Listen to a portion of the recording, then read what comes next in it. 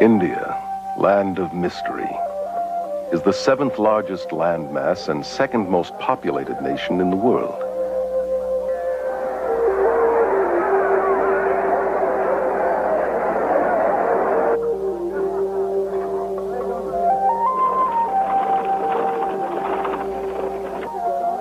It is rich in resources and manpower, yet its people are among the poorest and most suffering on earth.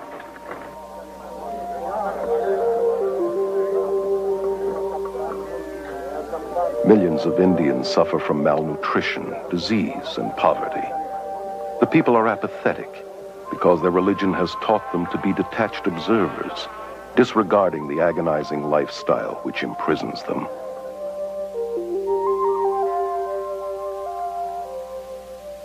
V.S. Naipaul, himself an Indian, describes India as a wounded civilization paralyzed by her religious beliefs. This complex and contradictory religion, known as Hinduism, promotes the worship of enlightened godmen called gurus.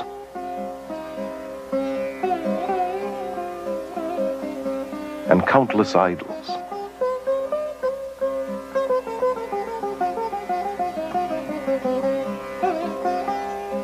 It deifies both nature and femaleness and believes Mother Goddess to be the original deity. She is worshipped in many forms. As Mother India, venerated in the shape of her map. As Mother Earth, reverenced in the cow, whose urine is even seen as sacred. In Goddess Kali, the goddess of death and destruction, who demands to be pacified with blood sacrifices. And in Holy Mother Ganges, the largest river in India.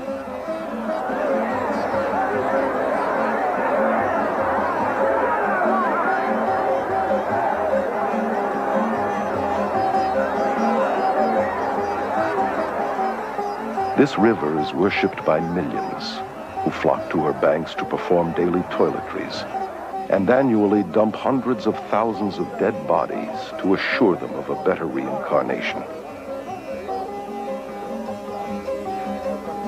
Its pollution does not dampen the spiritual fervor of the people who believe its waters to be essential for all religious ceremonies and imbued with magical and healing powers. Incredibly, the West is today looking to Hinduism's superstitions for hope. The religion that has all but destroyed India has now infiltrated every area of Western society. Protesting that it is not religious but scientific, it is transforming our minds, science, medicine, mass media, politics, and the church. Hinduism is most seductive when it wears the mask of Christian terminology and has shockingly managed to disguise itself as the latest Christian thought. Hundreds of thousands of Western pilgrims have journeyed to India seeking enlightenment and have disappeared by the hundreds.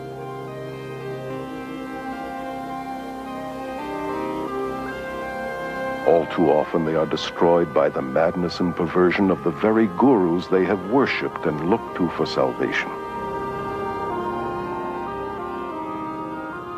Today, hundreds of these professing godmen are invading the West.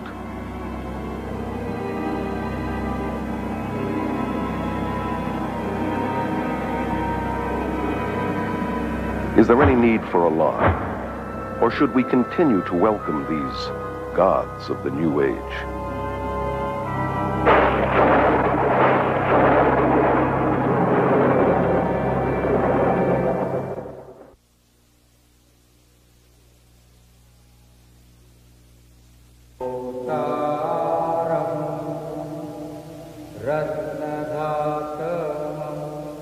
Here in Delhi, India, Guru Darshan Singh, only one of hundreds of gurus, has personally converted or initiated some 15,000 followers. He explains that it is the job of the guru to groom his disciples into the shortest path to salvation. Salvation is the same. But you know, we have various paths leading to it. You know, some of the paths are long paths, other paths are the short paths. Why is a master then necessary? Master is necessary, you know, to groom you into the shortest path. Descended from a long line of Hindu spiritual masters, Rabindranath Maharaj is a former guru and accomplished yogi who was worshipped by thousands. The Hindu needed to be near his guru. The Hindu needed to consult his guru. He eventually saw his guru as the only means to salvation. It is absolutely extraordinary also to look at disciples of some of these gurus that I saw in India, for example. These adoring, huge, open eyes that just will accept anything from him and that just love him beyond anything. I loved Maharishi. I worshipped him. Therefore, everything he said or did or thought was perfectly right in my eyes. I just met Bhagwan and there it was. It's nobody else than him. Bhagwan is my master and I love him. I'm in love with him. That's the only thing I can say.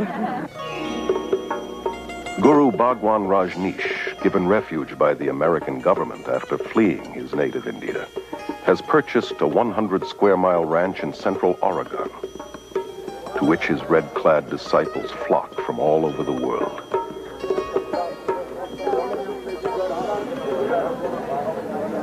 Whose astonishing title literally means highest spiritual teacher, Lord of the universe, Honorable Sir, and King. Caryl Matrisciana is a journalist and author of the book Gods of the New Age. Born and raised in India, she moved to London in 1973, where she became one of England's leading authorities on new religious movements.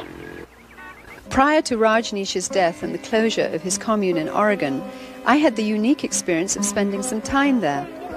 Rajneesh would come out twice a day in one of his 96 Rolls Royces and literally be worshipped by his thousands of Western devotees.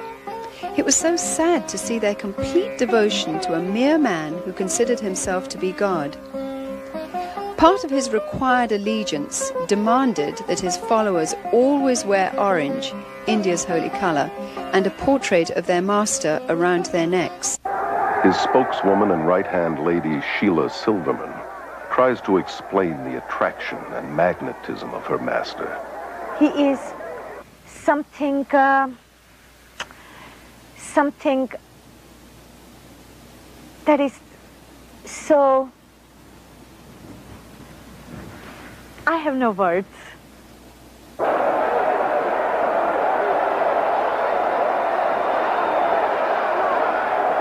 It is a love relationship, master and disciple. Something happens in your heart when you see a master. Bhagwan's my master.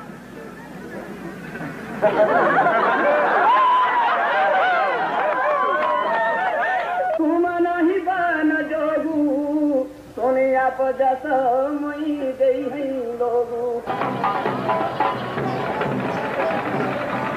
at the Kumbh Mela Festival, or Aquarian Fair, in Allahabad, India, 20 million Hindus gather to witness an endless procession of hundreds of these self-proclaimed God-men.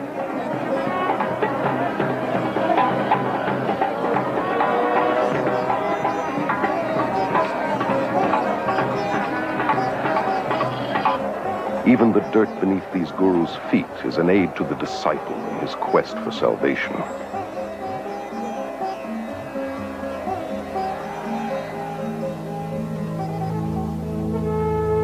This footage was covertly photographed and smuggled out of India.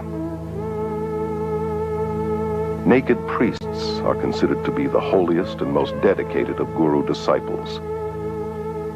Many cover their bodies with cremation ashes and dirt and mat cow dung into their hair.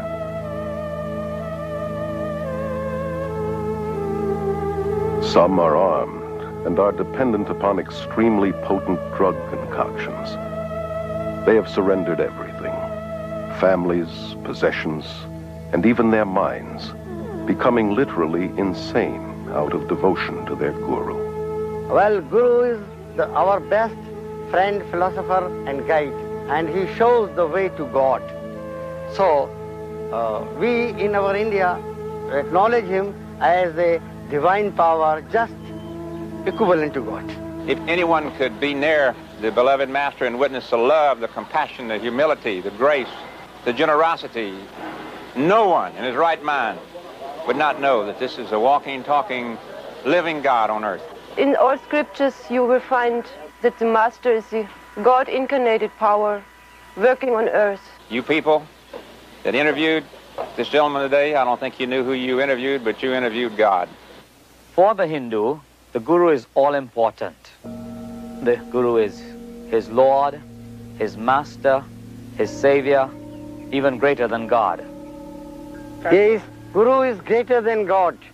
I have personally talked with many, many gurus, and the sad fact is that within their belief system, they have to be detached and removed from their emotions and compassion, and their cruelty and inhumaneness is seen as spiritual and excused as holy. I was really interested in their worship and their veneration and their adoration and the gifts and offerings they brought to me. But I was certainly not interested in their problems and their difficulties and hardships and pains. The Guru followers believe that he returns this incredible love that they feel towards him. But in reality, he feeds off their emotions to maintain his own ego. So many people come here because they too are in love with Bhagwan.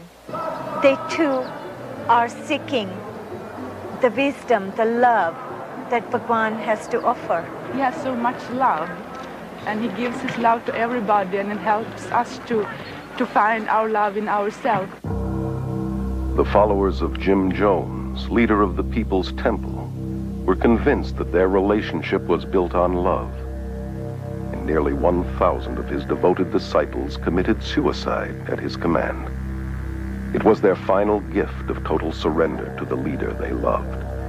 Their lives cut short by a madman claiming to be God, the reincarnation of Jesus Christ. Guru Sai Baba is one of India's most powerful men with millions of Indian disciples and a growing Western following. He says of himself, I am God. My power is divine and has no limit. There is no force, natural or supernatural, that can stop me or my mission. Prabhu Guptara, born and raised in India, is currently a journalist and media commentator in London. Gurus are going to the West because of two reasons. First, of course, they want to convert people. Uh, they want them to become followers of their own religion, in some cases themselves. And secondly, because they feel they have something to offer. What these gurus have to offer is a family, a community to belong to, which they don't have.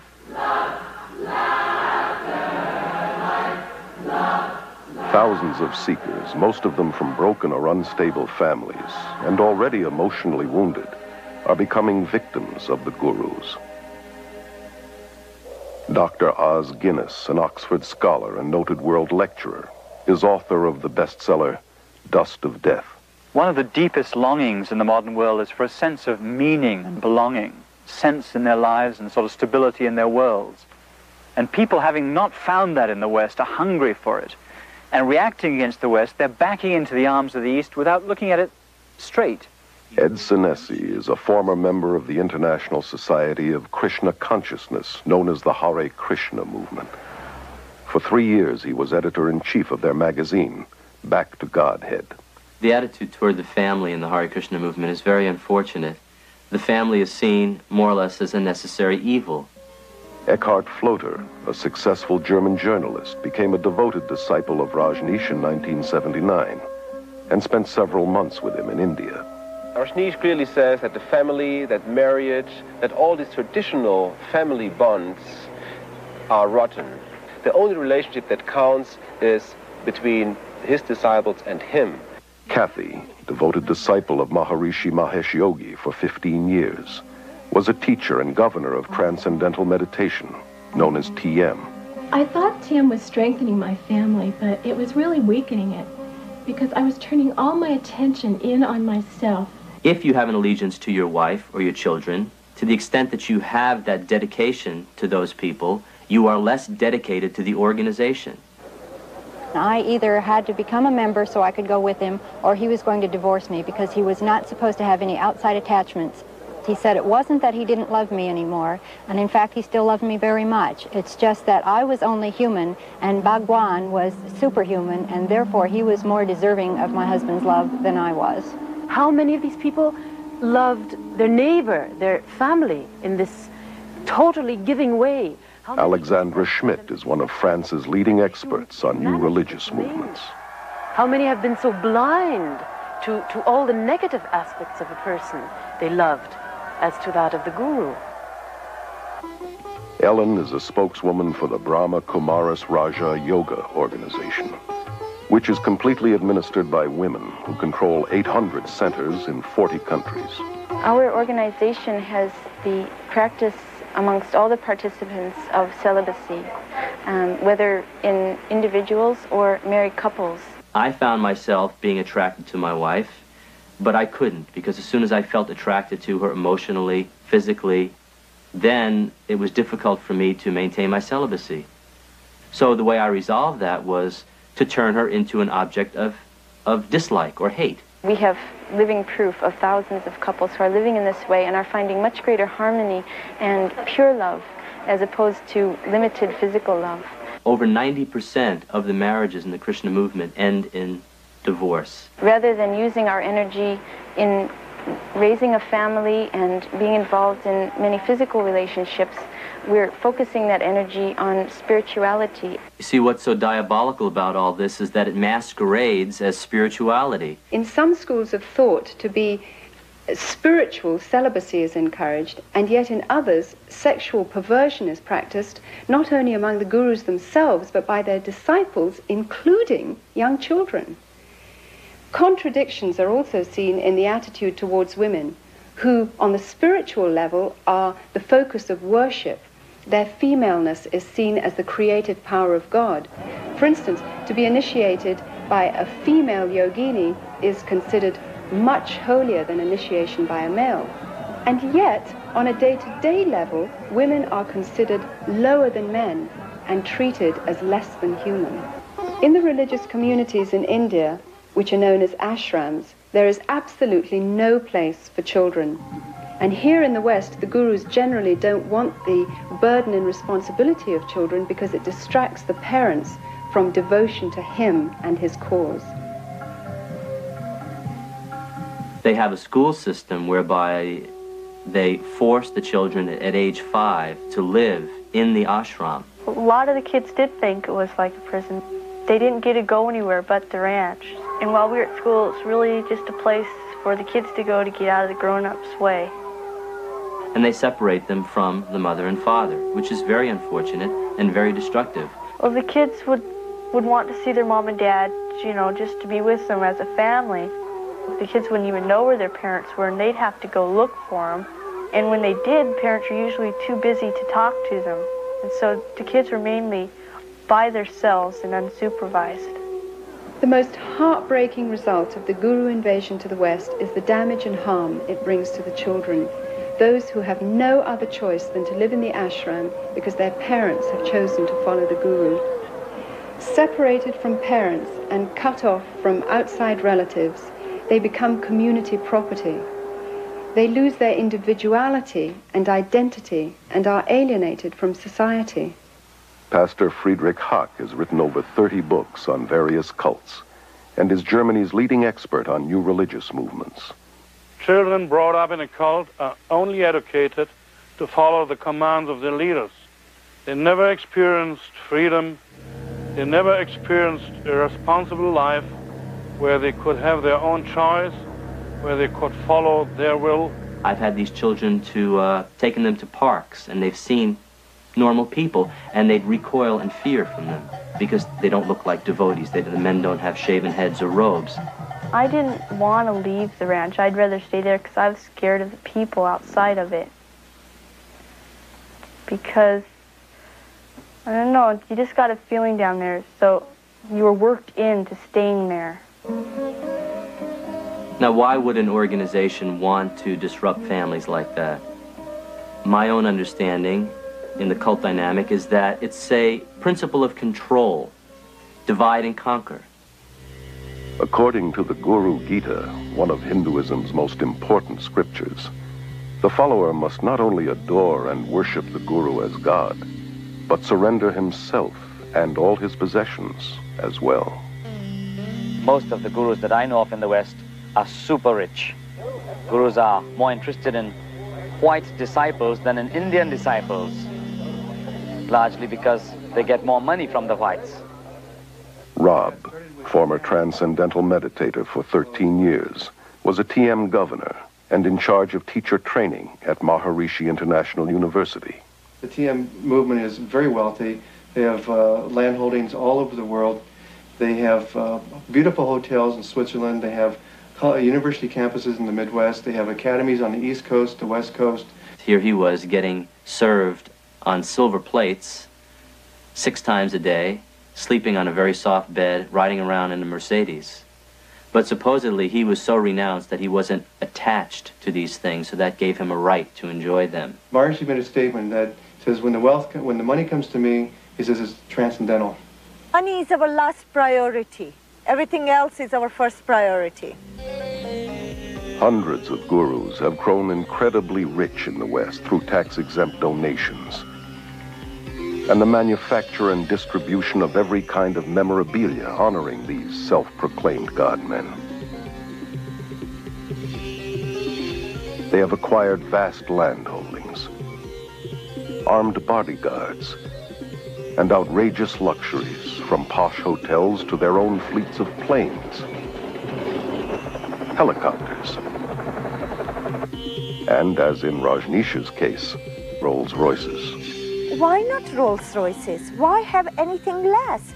This country is a capitalist country, and anything that produces or helps capitalism, why not?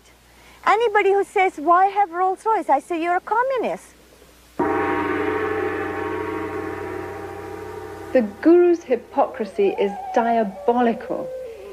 Criticizing the materialism and commercialism in the West and convincing their followers that non materialism will get them up the spiritual ladder, these gods of the New Age are laughing all the way to the bank. I know of groups involved in drug trafficking, smuggling, prostitution, and the buying and selling of weapons, all done to earn money for the guru. I know of a variety of uh, female disciples who were prostitutes in Bombay and making money with it. I have evidence that the Rajneesh organization is making a lot of their income through illegal trafficking of drugs into this country. If you have, have your head in the right place, you can create money. It is an art. They were encouraged to smuggle dope from India to Europe, and from this money, they could pay their workshops. If they have to tell you they're with the Christian Children's Fund, or they're with the Salvation Army, or they're using the money to find men missing in action in Vietnam, whatever they have to do to get the money, they'll do that because they believe what their guru told them that the end justifies the means. Hinduism teaches you to die to the voice of conscience inside that says, it's wrong. It teaches that there is no sin. This can be seen in the way that gurus and their disciples justify murder, violence, robbery, bribery, and crooked business transactions, all done in the name of heavenly deception. People were encouraged not only to spy on each other when they were not properly surrendering to the master, people were encouraged to lie to each other. The mail is censored. We know of bribery with local politicians. People undergo, as I did, a change in their value system and become confused about what is right and what is wrong. Another danger that you can see in a lot of the Eastern thinking is the sort of syncretism and the failure to make distinctions so that you transcend not just right and wrong, but this and that. And I think it's very important to say there are distinctions, not just between right and wrong, but in all sorts of things, to think critically, to think clearly. The whole philosophy of Hinduism is very relative. There are no absolute moral standards upon which to act. Your feeling of right or wrong would change according to your level of consciousness. You can become so completely under the power of this particular person that you refuse to think, or if you like, you're unable to think. You can lose the power to take decisions of any sort, no matter how trifling, in any area of your life. Sally Belfrage, former resident of Rajneesh's religious community in India, wrote of her disillusionment in her book, Flowers of Emptiness. I felt more and more kind of drawn into his, uh, his, this emptiness of his. It's impossible to describe. It's more than charisma. Charisma doesn't do it justice at all. It's more than an aura. I really believed that he knew something I didn't. That he was on a plane that I was not. They ask you for total and also brainless obedience and worship because they are God and they are more than human and you have to follow these gods. You are not asked to deal with your brain and to ask questions. I discover with amazement and dismay the readiness of people to submit. So many people in the world feel that they've got to fling themselves headlong and believe and give up their autonomy. People love to give up this heavy freedom that we have to carry with all the, the decisions and the effort it implies. Freedom in the East is freedom from individuality. So it's a detached freedom that has no high place of man. And a lot of the Eastern way of thinking is like a sort of mist that falls in, or it's been described as, a, as an embrace that smothers any differences. I found that I lost my identity somehow. He had no identity. He was a sort of conduit to the infinite. And I was somehow at the receiving end of something very strange and extraordinary.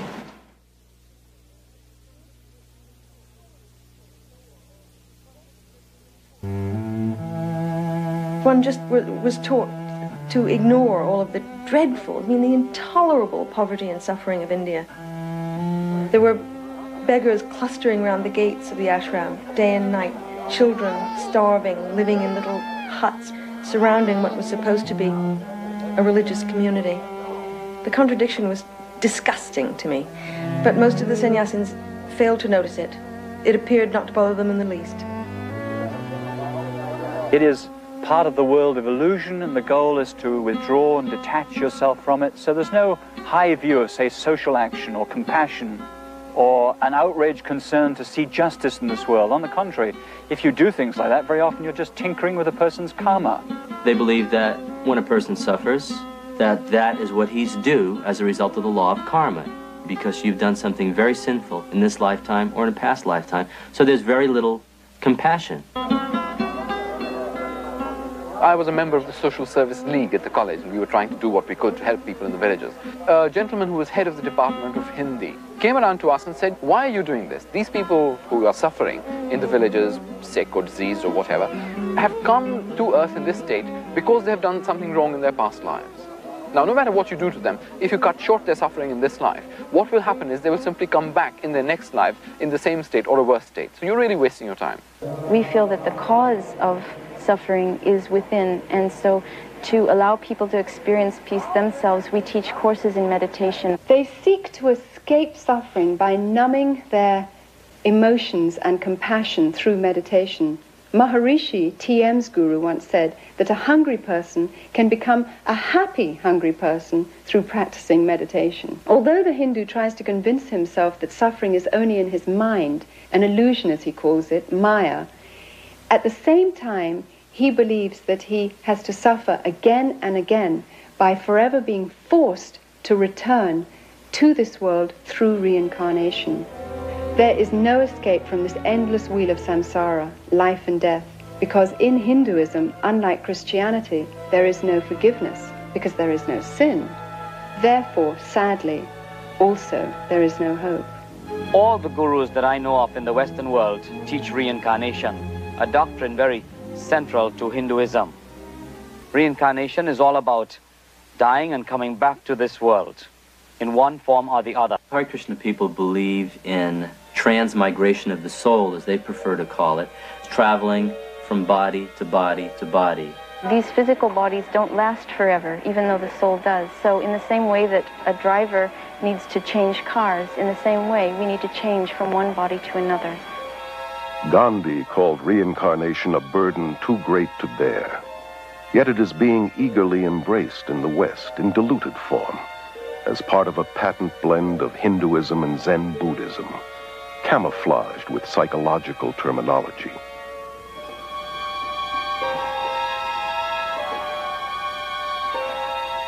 This New Age religion is promoted through thousands of worldwide networks and hundreds of major gatherings, such as this Mind Body Spirit Festival held in Los Angeles.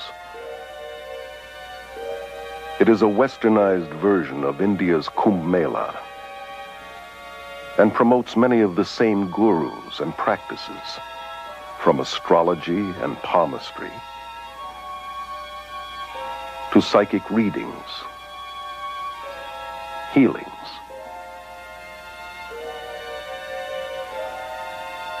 and meditations. The festival, now international, was started in London in 1977 by Graham Wilson. He explains the New Age interpretation of reincarnation as an upward evolution to a higher species of mankind. Um, we don't just reincarnate uh, as an individual soul into a new body each time, but uh, more of the, there's a collective consciousness of souls, which is why I think we have access to a lot more information than we realize. Either one has to believe in reincarnation or resurrection. They both could not be true at the same time. There are those who believe that Jesus was a reincarnation of Krishna or Buddha or some other great master of the past.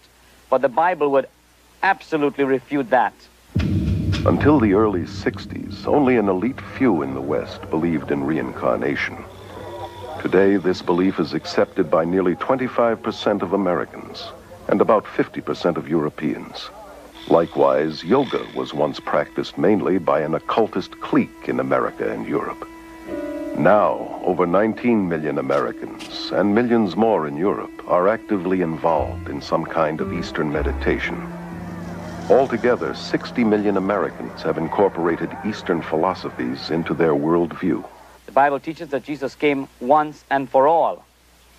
When he died, he did not reincarnate, he resurrected. It is appointed unto all men to die once, and after death comes the judgment, the judgment of God. I noticed that in the Western world, reincarnation has become something of a fad. However, in India and in Asia as a whole, reincarnation is certainly not a fad, it is a form of punishment.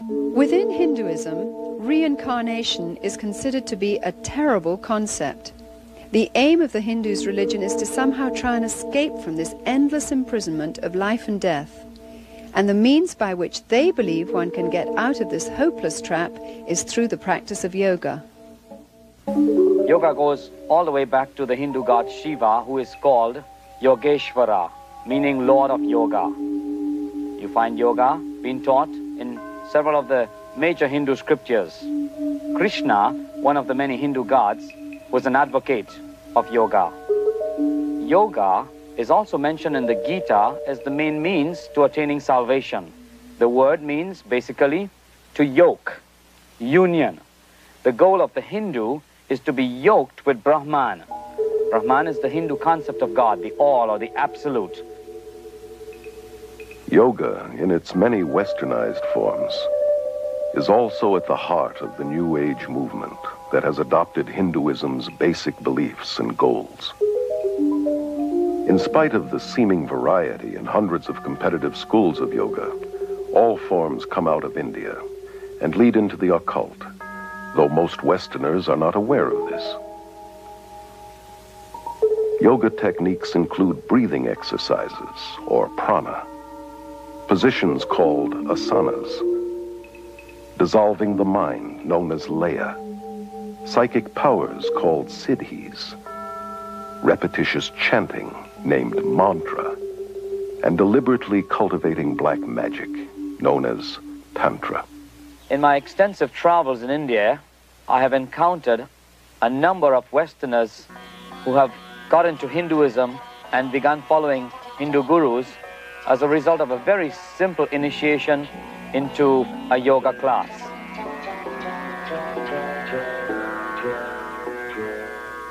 Yoga is in many ways the heart of Hinduism. There is no Hinduism without yoga, And there is no yoga without Hinduism. Although there are many types of yoga, the one most familiar in the West often passes for physical exercise and is called Hatha Yoga. It promises mental and physical health, but its Hindu roots and real goal to yoke with Brahman are seldom taught. Ellen believes that Raja Yoga, or yoga of the mind, is the highest form of Hinduism. The Brahma Kumari's Raj Yoga is a form of meditation where the soul begins to understand itself clearly and has a connection with the Supreme Being. Raj means royal and yoga means union, so the link with the Supreme Being. And through this yoga, I become the ruler over my own self, over my mind and my life. Johanna Michaelsen, former yoga teacher and assistant to a psychic surgeon, tells of her experiences in the occult in her autobiography, The Beautiful Side of Evil. Another word for mantra is charm, or to cast a spell, if you will. And in mantra yoga, a word or a phrase or the name of a, a, demon god is repeated over and over and over again to bring the individual to a vibration level that will attract that which is being chanted for, to bring about the desired effect. It's exactly what the white witches and magicians, so called, use in the casting of their spells. We were always told, no, it's just a, meaning, a meaningless sound. Had nothing to do with Hindu gods. But every time a person would sit down, they'd be invoking a Hindu god by thinking that mantra over and over again, be stronger in their life. The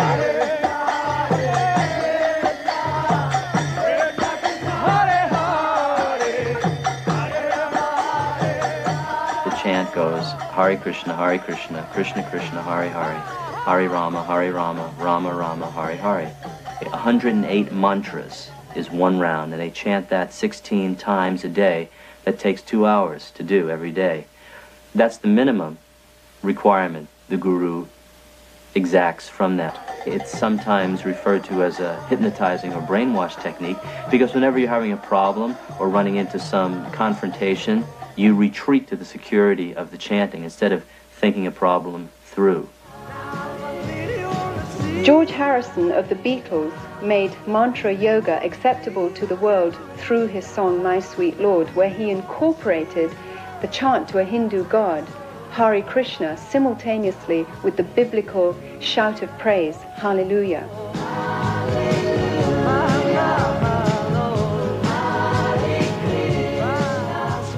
He said he did this deliberately to show that both religions are the same and to make Hinduism more acceptable. To pretend that all religions are the same is dishonest, as is the merger of various religious techniques. For instance, more and more Christians use the name Jesus much like a mantra. They claim that it's a tool to get them into the presence of God. Jesus said that repetitious prayer is not acceptable to God. Maharishi Mahesh Yogi, originator of TM, claims to have put Eastern meditation on the mystical map. With over 3 million followers, TM is the largest guru movement ever to invade the West. The Beatles' much publicized visit to Maharishi's community in India in the 60s convinced their millions of fans that TM, the so-called scientific yoga, was an even more powerful way to bliss consciousness than drugs.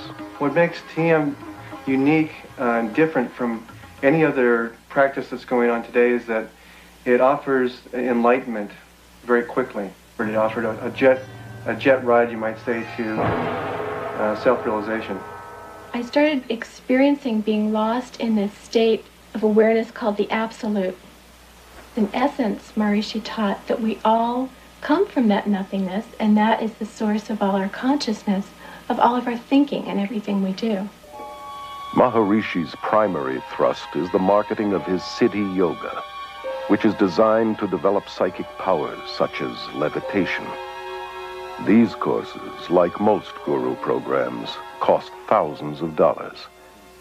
Rob was able to finance his advanced training through government student loans, totaling $6,000 during these uh, sessions, it's a very strange environment. People speak in tongues, they yell and they scream, they talk in foreign languages. It's like a madhouse, and it's real crazy. Everyone bouncing around on foam pads, flying up in the air. Rajneesh is one of India's most controversial gurus, largely because of his endorsement of shocking sexual practices as a prerequisite for salvation. His brand of yoga, called dynamic meditation, is a new age combination of Hinduism and psychotherapies. This exercise, involving rigorous breathing and hyperventilation, is designed to arouse the serpent force called Kundalini, which the gurus believe lies coiled at the base of the spine.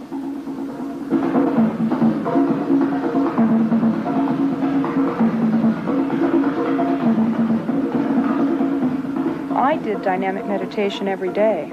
We also called it Kundalini meditation. It starts off with a cathartic breathing, and the reason for it is just to move your energy and to get you out of your head and into your body, and you just breathe.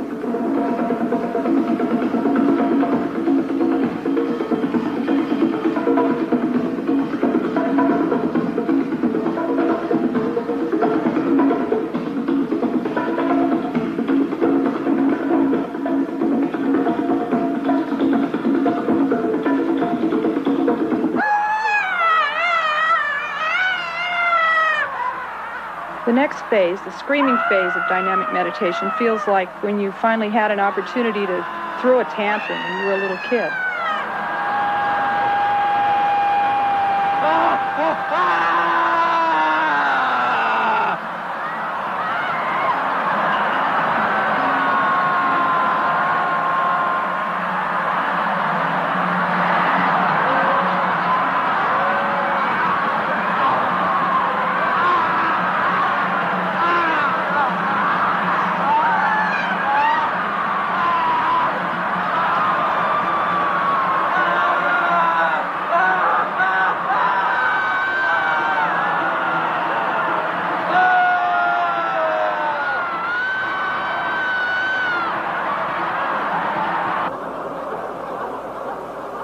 The time you get to the third phase of jumping up and down and yelling who, you're hardly there at all. And so it's pretty hard to remember what happens when you're there. I guess the closest thing I can associate it with is mindlessness. You get to a place where your mind actually leaves your body. Your body's just jumping up and down, and your voice from your gut is yelling, who, and you're not doing it anymore. You become one with this whole energy.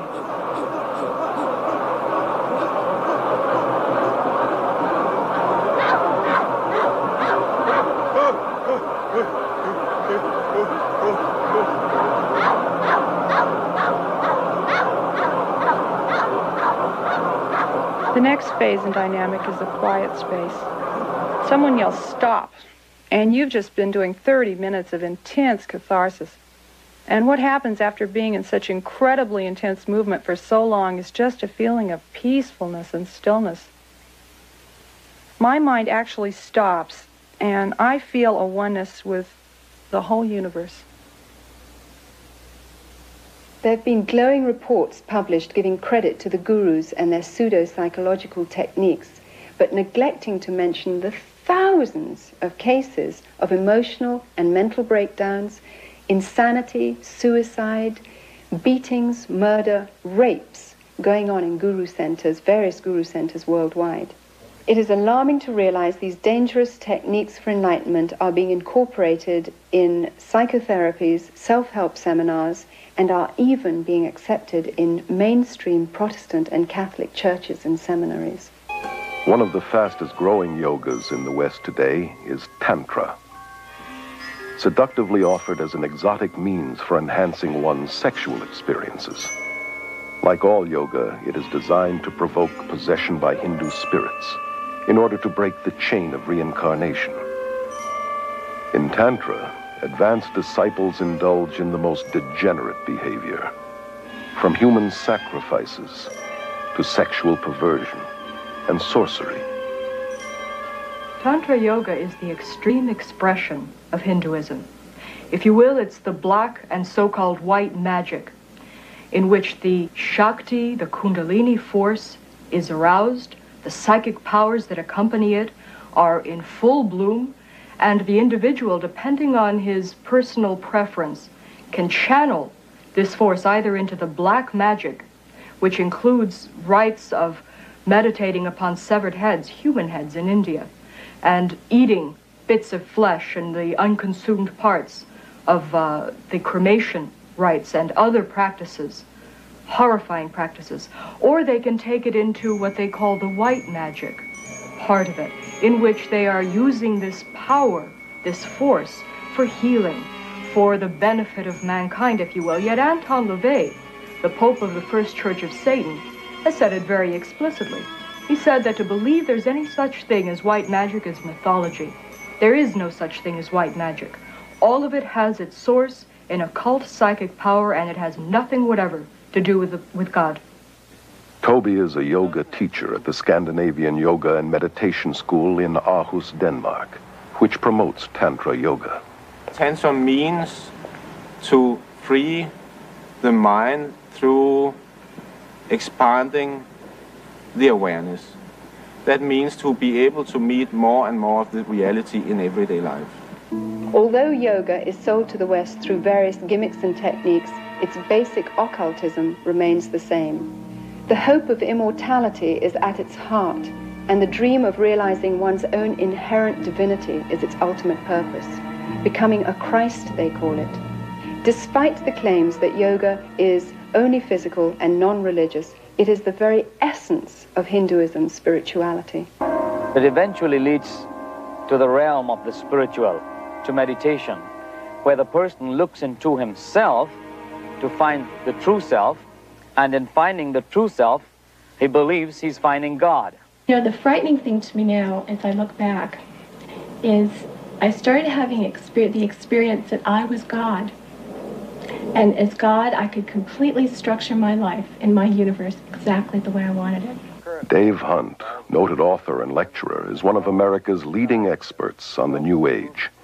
His books include the bestseller Peace, Prosperity, and the Coming Holocaust. He explains that Hinduism is based upon the same ideas that the Bible says the serpent introduced to Eve in the Garden of Eden. The yogis teach the same lies that the serpent in Genesis 3 deceived Eve with, that death is merely the doorway to reincarnation, and that humans can become gods. This is either an unbelievable coincidence or an unmistakable identification of the mastermind behind Eastern mysticism. This mastermind is called Satan in the Bible and is also known as the serpent, the ultimate power of Hinduism, symbolized by the serpent, is glorified and worshipped in Hinduism.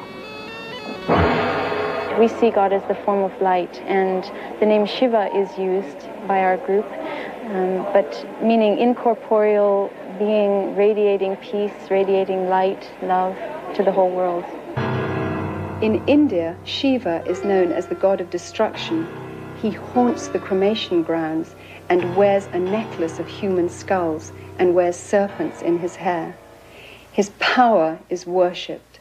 Hindu texts describe the power as the fiery serpent within, called Kundalini. Many people are talking about Kundalini, and really it does mean energy. That means whatever you call it, it is about energy.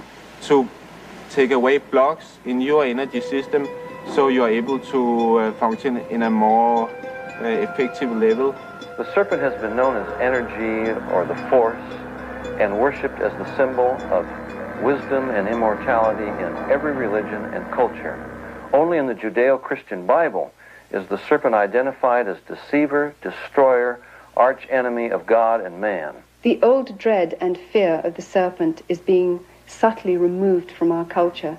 Even children in schools are being taught to accept the snake through yoga positions like the cobra. Michelle, could you show us how we do the cobra? That's it. Arch your back. That's good. Look forward. Good. You hold it for a second. The breathing exercises are designed to teach you to absorb the prana, the energy life force in the cosmos, to channel it into the chakras, the uh, psychic channels, thus awakening the Shakti force, the Kundalini force, and bringing about those psychic powers, which are such an integral and prevalent part in yoga. So very slowly, let's breathe in through our nose. Very slowly. Breathe in.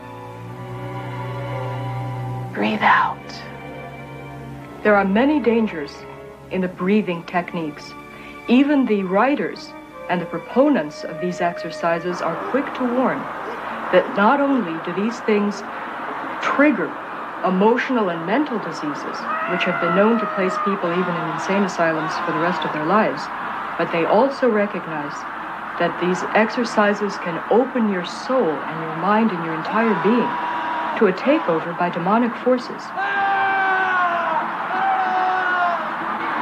followers of the gurus themselves have been forced to form an emergency spiritual network of 4,500 MDs and psychiatrists to treat those who are freaking out on Eastern mysticism.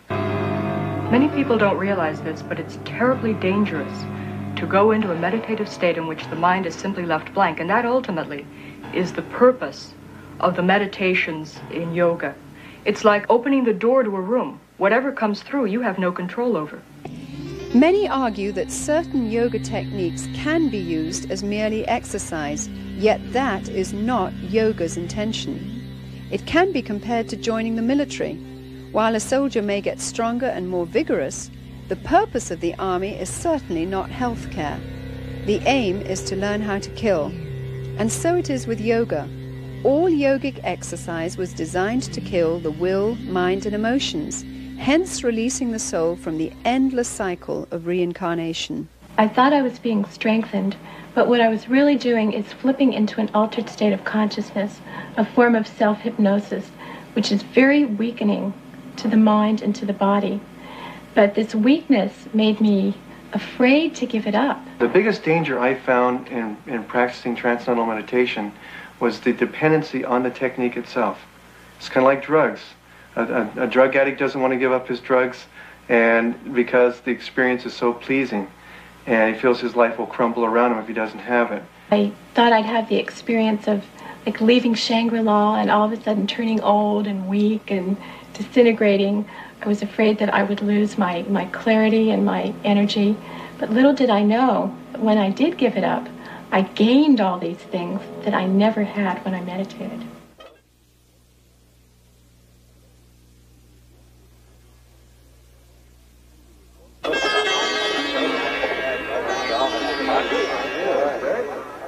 Once a religion for Indians alone, Hinduism has become radically evangelistic through adopting the principles of Christian missionaries who introduced cultural and social reforms in India. In 1966, at an international Hindu conference, leading Hindus planned a strategy to convert the world.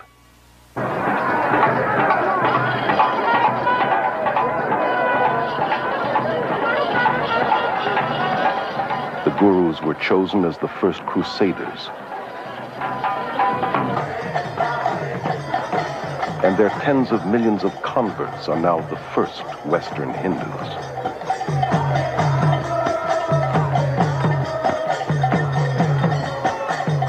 At the World Congress of Hinduism in 1979, a spokesman declared that our mission in the West has been crowned with fantastic success. Hinduism is becoming the dominant world religion, and the end of Christianity has come near. At the 1981 TM conference in India, a spokesman stated that the entire mission of TM is to counter the ever-spreading demon of Christianity. The religion that is out to destroy Christianity is being embraced by millions, including many in the church today who are naively succumbing to spiritual propaganda and unwittingly becoming disciples of the gods of the New Age. Behind today's aggressive campaign for world Hindu domination is a secretive organization called the Vishva Hindu Parishad. It is the world missionary organization of Hinduism. Paragraph 4 of its constitution says that its aim is to establish an order of missionaries, both lay and initiate. The purpose of propagating dynamic Hinduism. The Hindu Vishva Parishad magazine clearly states that yoga teachers throughout the world are the front missionaries of the Hindu religion.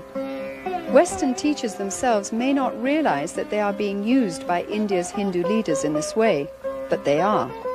While a guru disciple, Prema Nayak was an accomplished yoga teacher for 10 years. Yoga teachers are blind leading the blind. They themselves do not understand what they're into. They don't have any idea what they're teaching. Uh, this is really being used to reach the souls of students and innocent people in this country and other countries who come for an exercise class. As I look back on it, I see it was a subtle infiltrating of my beliefs and ideas. It totally changed my worldview. It gave me little or no moral standards by which to, to guide my life. I was becoming a, a Hindu, and it was a very big deception. The Vishva Hindu Parishad's plot to convert the world to Hinduism has created thousands of New Age worldwide networks with tens of millions of converts, all working for a new one world government.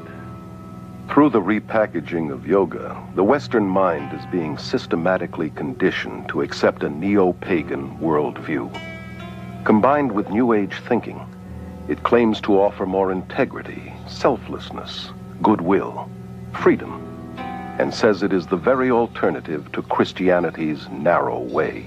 Yoga is really part of our society now. It's being sold everywhere as technique for relaxation, for becoming unstressed, brighter, more beautiful. The self centered world of glamour promotes yoga, meditation, and visualization techniques as a means to a healthier and more beautiful body, mind, and spirit. Spirituality is in, but with an anti biblical meaning.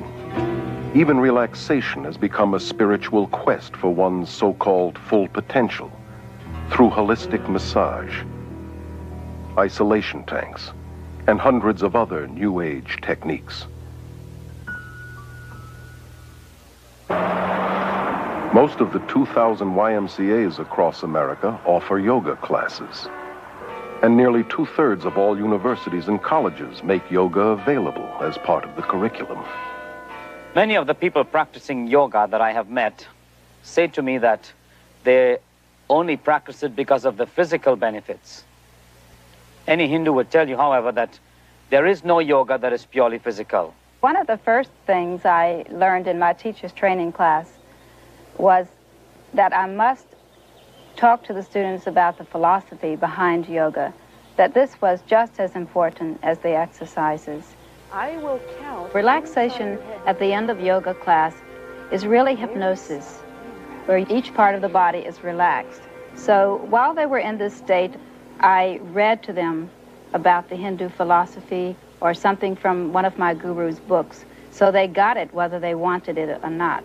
Yoga exercises were not designed for physical fitness, but to realign the serpent force within the body.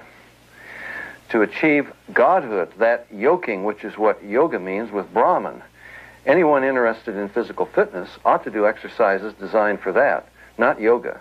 Many hospitals have set up their own yoga and meditation classes to provide stress reduction for patients, doctors, and nurses. Doctors and dentists who wouldn't think of promoting Christianity or Judaism on the grounds that it is religious are unwittingly involving their patients in Hindu practices. The last two years I've been working with some German doctors that was in research of breathing exercises. In uh, our Danish school, we get patients from the doctors, typical with a baguette, with nervous symptoms, with high blood pressure, with stress, and so on. In addition to promoting yoga, fitness and health magazines advocate various schools of vegetarianism, a practice essential to Hinduism. An extreme example is macrobiotics, which attempts to manipulate spirituality through diet. Maharishi once said that vegetarianism was the highest form of, of diet. This is essential in order to have deep experiences in meditation because the vibrations in animal products are innately of the nature to pull the soul down into the lower levels. I find it intriguing that so many of the people in India And those in advanced yoga in the West who feel that the consumption of meat lowers their vibration level think nothing about drinking their own urine, or better still, cow's urine, which the holiest of men in India recognize as having special redemptive qualities. We only eat food that's prepared by yogis who are in remembrance of the Supreme Being so that those vibrations are filled in the food and these affect the mind very much. They also teach that anyone outside the movement is more or less evil. He's a meat eater, he's a karmi. You're not able to have as much endurance, not as much strength, because I was a vegetarian for many years, lost a lot of my strength. I've uh, quit my so-called wicked ways, in other words, killing game and, and eating the flesh of animals. I'm strict vegetarian, as this diet so ordains. God did not ordain vegetarianism. Jesus was not a vegetarian. He fed the multitude with fish on more than one occasion. He himself ate fish and the Passover lamb. While the Bible would not condemn vegetarianism as a means for health, it would condemn it as a means for spiritual enlightenment. Health food stores are among the main fronts for guru organizations and recruiting, and are major distributors of New Age literature. Thousands of MDs, PhDs, chiropractors, and dentists are enthusiastic proponents of New Age holistic medicine. These New Age practitioners operate from the premise that treatment of the body must begin with treatment of the mind and spirit. These therapies involve countless techniques, most of which incorporate altering one's consciousness or hypnosis. Always part of the occult, hypnosis has become the main bridge between Hinduism and modern science. Hypnosis creates the same states of consciousness that you experience under drugs and in yoga. Accepted in medicine and psychiatry, hypnosis is the heart of self-improvement and positive mental attitude courses. And hundreds of misinformed Christian psychologists use hypnosis in their daily counseling. Even in the church today, faith in God is being replaced by faith in our faith, in our positive thinking, in the idea that somehow if I can make myself believe that something will happen, then it really will. This is a counterfeit of the true faith. Many believe that hypnosis is okay if used by qualified counselors. Somehow used by the right people makes it scientific and not occultic. So Christians naively use it, as do many of the new consciousness movements like EST, Scientology, mind dynamics, Silva mind control, and alpha brainwave training. In pursuit of Freudian myths, psychiatrists use hypnosis to regress patients back into their childhood and into the womb where they relive the traumas of their birth, despite the scientific fact that the prenatal, natal, and early postnatal brain is not sufficiently developed to carry memories. I did indeed experience my original birth thought, but I felt it wasn't enough.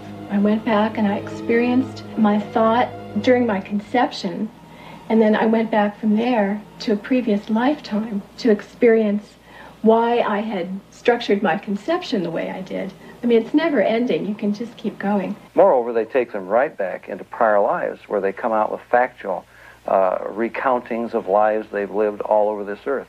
Obviously, the memory is not coming from the brain. It's coming from a deceptive source. The field of medicine is embracing numerous New Age beliefs that cannot be explained scientifically, such as acupuncture, which claims to manipulate the Kundalini force with needles, and biofeedback, which uses a monitoring device to train a person to control ordinarily involuntary functions, such as blood pressure. The Menninger Clinic's documentary on biofeedback calls it the yoga of the West. Elmer and Alyce Green, pioneer biofeedback researchers, admit that it creates the same state of consciousness and results as yoga. This electronic yoga has now been introduced by psychologists into the world of sports, including the Olympics. Businessmen are coming to yoga today because they want to be relaxed in the middle of their day. They want to train their ability to concentrate. Self-help therapies are a motivational tool used by hundreds of competitive businesses across America. Weekend success and positive mental attitude seminars and mail-order subliminal persuasion cassettes promise to improve personal and business performance through a blend of humanistic psychology and Eastern mysticism.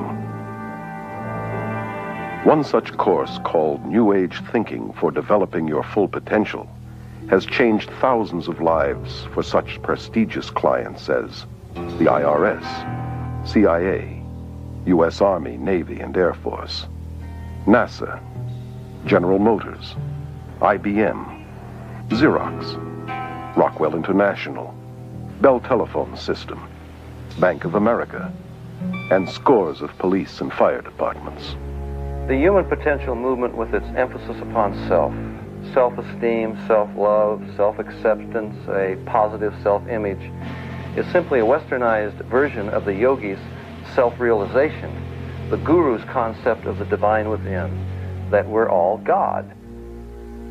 Rolling Thunder, the Shoshone Indian medicine man, has said, scientists will eventually discover what pagans have always known. That's exactly what's happening through the invasion of Eastern mysticism into the West. Many leading scientists have enthusiastically embraced Eastern mysticism in recent years. Hinduism, which claims to be the oldest religion, is being deceptively packaged as the new science.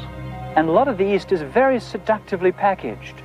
It's put over very carefully so that they don't stress the religious side, they'll put the scientific. They don't stress the spiritual side, they'll put the physical fitness or whatever.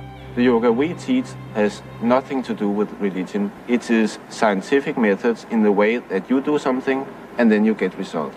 Maharishi found out that in the United States that people would not buy the religion package. So offered the scientific package, started getting scientists involved, started to do experiments on meditators such as the breath rate, the brainwave patterns, etc. And when they found out that the metabolic rates lowered during meditation, they found they could present it scientifically and people would buy it better that way. Even as teachers, we were taught the puja ceremony. We were bowing down to Hindu gods, and yet we didn't really feel we were teaching a religion. I think that's extremely deceptive and dishonest. Because the deeper you get into it, for instance, as people are initiated and so on, what they're taught is the pujas and the basic words and the rituals that are Hindu worship. Children practice it, it is used for teaching languages, uh, it is used for the businessmen, for all levels of society, it's taught in the schools. In schools across the Western world, from kindergarten through university, Hindu occultism is being openly taught in spite of the otherwise enforced separation between church and state. Guru Thakar Singh was invited to speak at a high school in Southern California. Kurt, a student there, became so overwhelmed that he actually moved to India, where he is now a devoted follower of Thakar. It's only half an hour talk and 20 minutes meditation. And the experience I had while there was was like nothing I'd ever ever experienced before. And just the air, the energy in the chapel where he was speaking was just electrified with feelings of, of love and, and just a peace, a hushed quiet that was just bewildering to me. It seems outrageous that in public schools across America, where Christian prayer has been outlawed, yoga Eastern meditation and visualization techniques, which are simply forms of Hindu prayer, are not only allowed, they're being actively promoted. Here in some of the schools in the West, in the PE classes, after having started with the physical aspects of yoga, the teacher eventually has the kids chanting words like Om, Brahma, or Krishna, names of the gods starting right down from the teacher to the student, we learned that the yoga could really help the kids um, reduce tension and center themselves. Many teachers are now being encouraged to develop a mass consciousness among the students. Let's relax. We're going to very slowly lift our hands up. Children are taught to let go of their critical faculties and center in on their intuitive feelings and experiences. Just really, really relax. Imagine that you're on top of a really soft and fluffy cloud and you're just really relaxed, comfortable. Just see that blue sky in your mind. One of the ways that the consciousness of the masses can most powerfully be influenced is through the mass media, which is increasingly being used for promoting Indian consciousness. The film Gandhi was probably the most effective piece of Indian propaganda to invade the West. It was a political advertisement controlled and heavily financed by the Indian government and promoted by the peace movement. It propagates a false message of Hindu religious tolerance and non-violence. Historical accuracy was discarded. Gandhi was no different from most gurus today in that he was a sexual pervert and was certainly not the non-violent, peace-loving man as demonstrated in his racial killings of blacks in the Kafir Wars in South Africa. The most important message of the film was that Gandhi was one of the first gurus to link Christianity and Hinduism to form one package, a new religion. I consider him to be one of the fathers of the New Age movement. So many of the most popular films today, like Close Encounters, Poltergeist, E.T., Return of the Jedi, Star Wars, are all based upon Hinduism. For example, the Force has a dark and a light side. That's black magic and white magic. The doorway into the occult is an altered state of consciousness. This is the way that Obi-Wan initiates Luke into the Force. He has him working a laser sword. He says, Luke, your problem is you're trying to think. He puts a visor over his face so he can't see. And he says, Luke, you got to tune it out and let the Force take over. That's an altered state of consciousness. In The Empire Strikes Back, Yoda is a yogi. He's got Luke standing on his head going through various contortions to develop the mind power to raise a spaceship out of the swamp. And when Luke can't do it, Yoda does. And Luke looks on and says, I don't believe it. And Yoda says, that's your problem. In other words, it's all in the mind. If you would only believe it would happen. And when Luke goes into the cave to confront Darth Vader, Yoda says, don't take your laser sword, Luke. You don't need it. All you need is within you. That's the divine within. And when he cuts off Darth Vader's head and it rolls to the ground and he opens the visor and sees his own head, that's the most powerful presentation of Eastern mysticism you could ask for. The Beatles sang it, I am you and you are me and he is she and all is one. We are raising an entire generation of children under the bombardment of cartoons and television shows and fantasy role-playing games and movies that are telling them that the occult and Eastern philosophy is a wonderful thing, not something to be afraid of, not something ugly and fearful, but something beautiful with the darling reptilian creatures with the great psychic powers that are drawing these children into an acceptance of things that are dangerous beyond anyone's comprehension.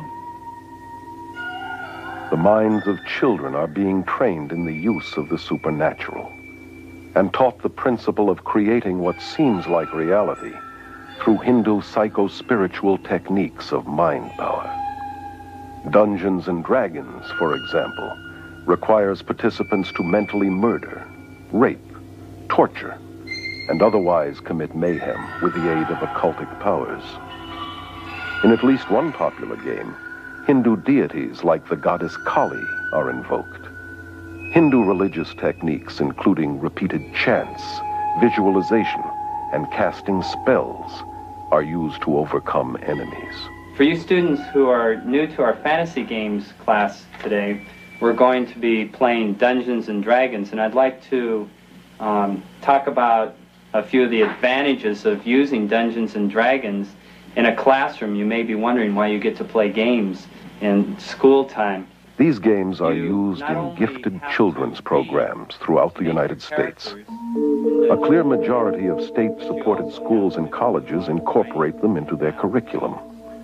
And uh, we call this an integrated curriculum. You guys are kind of familiar with that. You may encounter some violent creatures on the way, but the object is to be able to dispose of this ring that is the symbol of evil in the kingdom of Middle Earth. A child can understand the dark and light side of the Force. And to understand the Force is to understand basic Hinduism. George Lucas, creator of the Star Wars series, is in real life a devout believer in the Force, which he says can enable anyone to read minds, see past and future events, levitate, and plug into another world of psychic energy.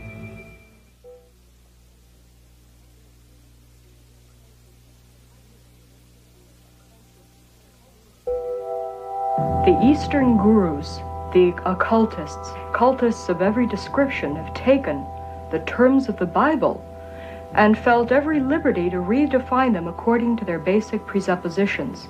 God becomes not a personal individual a spirit with whom we have a personal relationship. Through his son Jesus Christ, he becomes an impersonal force. God is uh, something, an energy that permeates every one of us, each and every one of us. And it's both uh, personal and non personal. Jesus becomes not the way, the truth, and the life, but an avatar, a way shower, one of many paths to God. Jesus Christ, of course, was uh, an enlightened master. Bhagwan is another Jesus, another Buddha. Jesus Christ was a great master, like our master is today. The Word made flesh, as the Bible puts it.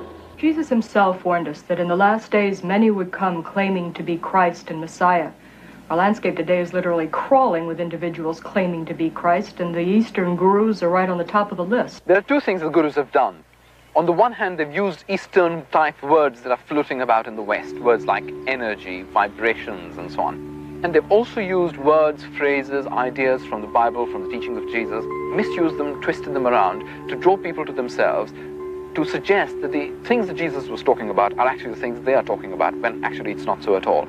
In Holy Bible, it has been explained uh, very uh, explicit, explicitly that be ye perfect even as your Father who is in heavens is perfect. And we are also basically the same as He is. And when you know you're a perfect man, then you can go upward and you can become divine. Each human being is naturally peaceful, naturally pure, naturally good.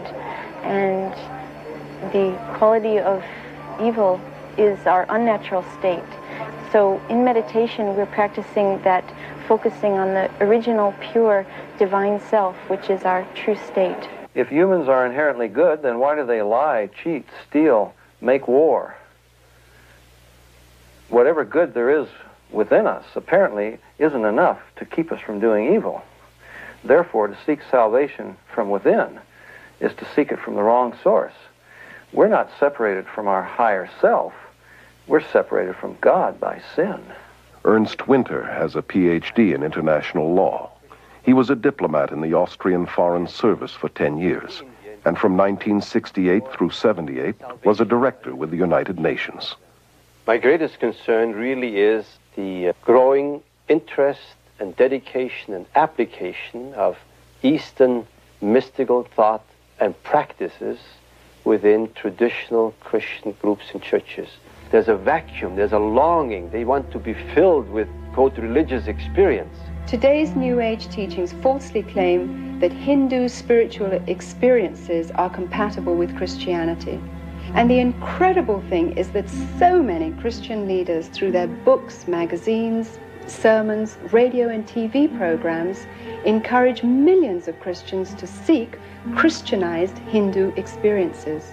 Many people who are in the Christian church have come to us and have had deeper experiences of spirituality and of God as a result of this meditation. As a society, we've become geared to basing our beliefs on our experiences. If our experience and our feelings tell us that something is valid and genuine and good, then we automatically assume that that is the measure of absolute truth. No distinction is made whether this is uh, a spiritual experience coming from uh, God the Father or from the rule of this world. The appreciation of Satan or the devil or demons has diminished enormously because rationality says there cannot be a Satan, cannot be demons. These are psychological phenomena, maybe even have to be treated by a psychiatrist. Opening, therefore, to spiritual experiences one's soul uh, opens many people to the occult. The Jesus who came to me in times of deep meditation gave me visions and experiences that were beautiful beyond description. I was convinced that because I was witnessing miracles of healing, because these things are so filled with love, they must be good and from God. And yet one day it occurred to me that I had no objective, absolute truth against which to test my experiences that my feelings, my emotions, perhaps were open and subject to some form of subtle manipulation which I didn't understand. At that point, I decided to look into the Old and New Testament. I knew that I'd fallen then for the Jesus of the counterfeits. Trying to develop spirituality based on feelings, ecstasy, or experiences is like building a house on sand. Our relationship with God should be built on a solid foundation of biblical knowledge. Now, I believe that we are challenged to test the Spirit, that we should read Scripture, that we should study the Bible, and that we should not value experiences higher than the Word of God. Biblical meditation is thinking deeply on the person and work of God and Christ, concentrating on and knowing His Word. Most Catholic monasteries and most Protestant Bible schools have introduced one system of meditation or another, and they are based upon the practices of yoga. Many of the church people and particularly the leaders of the churches and denominations look with great hope to Eastern mysticism that it would bring new life into a dead body. I recently graduated from a major American theological seminary, and I've seen an alarming influence of Eastern mysticism in terms of using meditation techniques, biofeedback, self hypnosis, autosuggestion as a tool in order to gain mental and physical health. The danger to the students is that these professors are using Christian terminology in order to describe Eastern techniques. One of the professors who is teaching Christian meditation told us to empty our minds because we should kind of image God in this meditation. The belief that we can create reality with our minds comes directly from the Hindu concept that everything is an illusion or Maya. This is the new delusion in transpersonal psychology, and it's rampant even in the evangelical church today, where it's becoming increasingly popular to believe that we enhance worship by visualizing an image of God or of Jesus, that we create the answer to our prayers by visualizing what we're praying for. Creating a visual image of Jesus or God in our minds is no less idolatrous than if we made the same image out of wood or stone. Forcing God to participate in a situation or honor a desire that I have visualized in my imagination is simply a devious way of attempting to manipulate Him into doing what I want without admitting it. While infiltrating the Christian church, Eastern mysticism is also powerfully influencing world politics. Under the umbrella of the United Nations, countless New Age groups spread their philosophies worldwide. Many UN leaders, UN agencies, and the World Council of Churches with its deep UN ties promote New Age beliefs and practices. The UN has its own meditation room and resident guru, Sri Chinmoy. Even the United States Pentagon has meditation rooms. A graduate of Harvard School of Divinity, Leland Stewart, directs the Unity and Diversity Council, a powerful New Age promotional network that originated with a 1965 directive of the United Nations General Assembly. Unity and Diversity Council is a worldwide coordinating body of what we call it individuals, organizations, and networks looking toward a time in which there will be a one single organized energy of networking throughout the planet. Under Stewart's leadership in 1982, this group linked arms with Graham Wilson's Mind Body Spirit festivals, forming a vast army dedicated to the merger of all religions into one under a world leader. I am very interested in the harmony of all religions, not just to give birth to another religion, but rather to, to produce, let's call it a universal religious outlook through which there can be a new connecting of all cultures and all religions, all races. In this growing consciousness of sharing godliness and looking for a leader to uh, uh, lead everyone into this uh, new heaven, the UN plays a very important role inasmuch as much as it is a support system. Any group that meets to discuss these matters would be very eager and very careful to have UN sponsorship. Our organization has been represented in the United Nations. We have an office there, and this has been going on for approximately five years. We've been involved in all the sessions that are going on in the UN. We've been able to um, watch and participate, offering um, meditations and presentations. How is this possible? I think it became possible by the, the thought and actions of one man in the UN, Robert Muller, who was continuously emphasizing that the UN has to be a support system to this conditioning of man, to this sharing desire, to this uh, uh, looking for a one world government, for one world leader, and playing down, and I believe myself correctly, that the UN is not that world government, that is a conditioning device, that it is an aid, a support system. It gives prestige to uh, otherwise completely outlandish groups. The Brahma Kumaris World Spiritual University in India is used by the UN and its members for conferences focusing on world peace and unity. Delegates from all over the world, VIPs, are attending to express their ideas and to experience peace in a very real way themselves. This experience will enable them also to draw up new laws for universal peace. This will be endorsed by heads of state and submitted as a practical um, form for the United Nations. Many evenings, uh, the UN building is even used for lectures, talks, uh, meditations, uh, enlightenments, uh, on how to make one better world. The leaders are asked to meditate and be involved because this is part of their instruction of brainwashing. And all this is part of the conditioning for the vision of a new world or of a new age. This guruistic system in politics is very dangerous for our democratic society.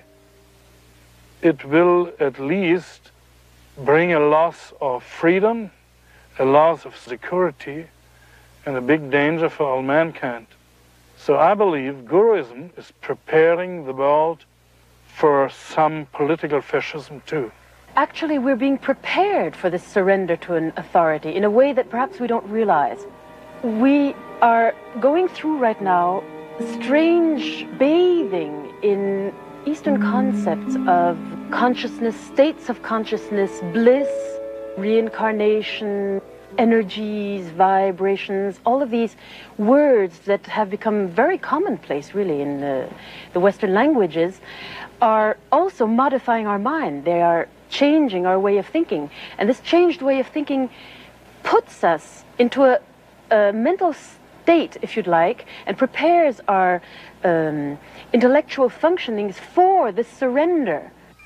More than ever before, the human race seems willing to surrender spiritually and emotionally to a charismatic leader who can offer peace and prosperity to a world trembling on the brink of ecological and social collapse, international financial chaos, and a nuclear holocaust. Well-known New Ager Benjamin Creme claims to be the coming world leader's advanced public relations man. In 1982, full-page advertisements around the world announced the coming of Creme's New Age Christ, which gave fresh hope to millions. At this press conference in Los Angeles, he described how this Christ would make himself known. It is a truism today to say that we are at the dawn of a new age, the age of Aquarius. And it is important to remember that all of the great religions await the coming of a teacher. The Christians await the return of the Christ. The Muslims await the Imam Mahdi. At the same time, the Buddhists await the coming of another Buddha. The Hindus await the return of Krishna. And the Jews, as always, await the coming of the Messiah. I'm speaking today about the return of such a teacher. Christians are awaiting the return of the resurrected Jesus with the nail prints in his hands and feet. But the followers of the gurus are awaiting a coming world ruler who won't even claim to be Jesus, but the latest reincarnation of the Christ Spirit. And he will have the psychic powers to prove it.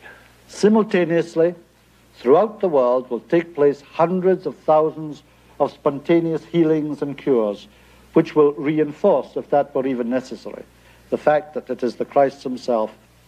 The day of declaration will be the outstanding event of this or any other century. On that day, the radio and the television networks of the world will be linked together. We shall see this extraordinary face on our television screens. But he will not speak. His words will drop silently into our minds in our own language. This is the significance of the altered state of consciousness reached in yoga and other forms of Eastern meditation. A Nobel Prize winner has described the brain as, quote, a machine that a ghost can operate, unquote. What that means is, in an altered state of consciousness, the connection between my spirit that normally operates my brain and my brain is loosened, and that allows another spirit being to interpose itself, begin to tick off the neurons in the brain, create an entire universe of illusion, astral travel, give psychic powers. In this way, the world is being prepared for some ultimate delusion. He will indeed inaugurate a great new world religion, and at the very most sacred core of that new world religion will be the process which is called the esoteric initiations, which take us out of the strictly human kingdom into the kingdom of God. David Spangler, board member of the Planetary Initiative for the World We Choose, which comes out of the United Nations, declares that Lucifer is the same force as Christ, that Lucifer prepares us for our own Christhood, that this is the final Luciferic initiation into the new age. Benjamin Creme's Christ may not be the world teacher and ruler of world peace as he forecasted, but without question the stage is being set today for what the Bible calls the apostasy or man's abandonment of God. This climate is ushering in the final actor, the counterfeit, who the Bible predicts must come before the return of Jesus, the true Prince of Peace, who will then reign for a thousand years. The merger of science and mysticism is now in full blossom, and its evil fruit will be the new universal religion of the coming world dictator that the Bible identifies as the Antichrist. Today's revival of paganism and Hindu practices, which form the heart of the New Age movement, was ironically the same kind of foundation that prepared the way for Hitler's rise to power. The Germany of the 20s and 30s was in social and economic despair and looked for a leader who would free them from the Great Depression. The man with a promise of hope was Adolf Hitler, who claimed he was ordained of God to usher in 1,000 years of peace and prosperity. His hypnotic powers manipulated an entire nation to surrender its collective mind to him. Obsessed with the occult, Hitler drew many of his bizarre ideas from Hinduism. He took the symbol of the swastika as his own, a Hindu symbol of power seen in many of today's temples in India.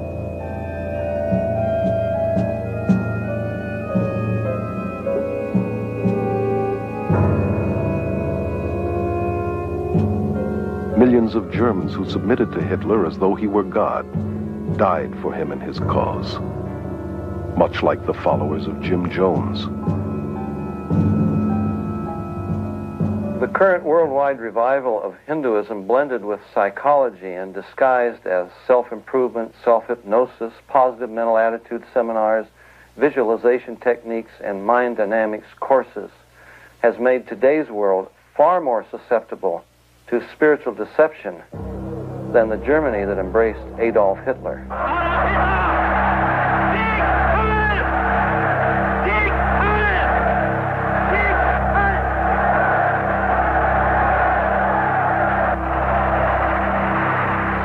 Today, a desperate world is looking for another spiritual leader. Has the human race learned nothing from its own mistakes?